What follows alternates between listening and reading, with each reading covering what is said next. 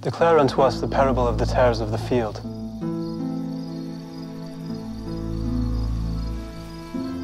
He that soweth the good seed is the Son of Man.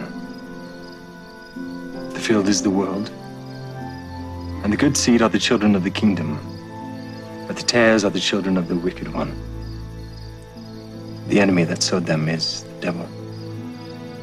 The harvest is the end of the world, and the reapers are the angels. As therefore the tares are gathered and burned in the fire, so shall it be in the end of this world. The Son of Man shall send forth his angels, and they shall gather out of his kingdom all things that offend, and them which do iniquity, and shall cast them into a furnace of fire.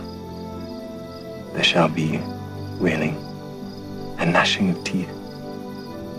Then shall the righteous shine forth as the sun in the kingdom of their Father.